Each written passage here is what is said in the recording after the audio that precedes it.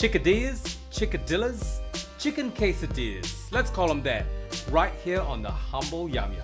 Humble yum yum. Humble yum yum. Humble yum yum. Humble yum yum. Humble yum yum. Humble yum yum. Hey guys, welcome to the Humble Yum Yum. That's right, this is the place where you find global food that doesn't cost the world, and all the meals here feed four people for under 20 bucks.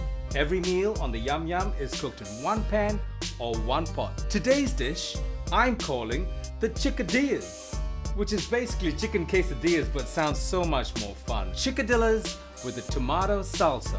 So what do we need for these chickadillas? Chicken in a can, cheap as chips, perfect for a meal like this. We've got our wraps, we've got some mint, some garlic, beautiful cannellini beans, makes you strong. Colby cheese, our old friend, and our secret ingredient, the Mexican spices. So that's got turmeric and coriander and fennel, paprika. That goes on the chicken, gives it some flavor, and will be done before you know it. This meal is also perfect for school lunches, so always make extra and save some for the kids the next day.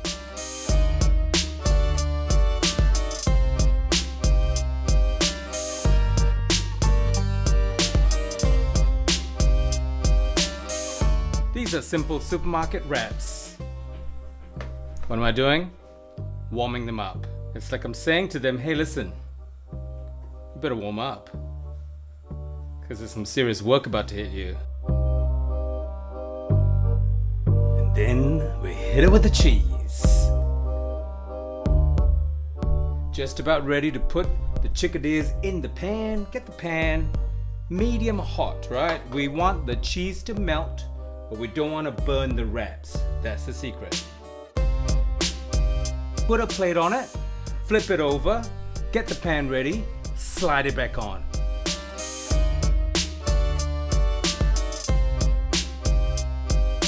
But look how crispy it is. Look how crispy that is. How easy was that? The chickadillas, and there's four of them, so this is a good solid meal. This is gonna leave everybody happy, and this is just one portion. In fact, if the kids just wanna have a couple of pieces, save two for school. So let's try it out. This is a little tomato salsa that I've made. It's all in the recipe. So here we go.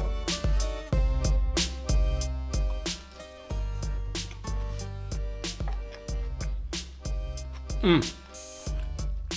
Get out of here. The humble yum yum. What else do you need?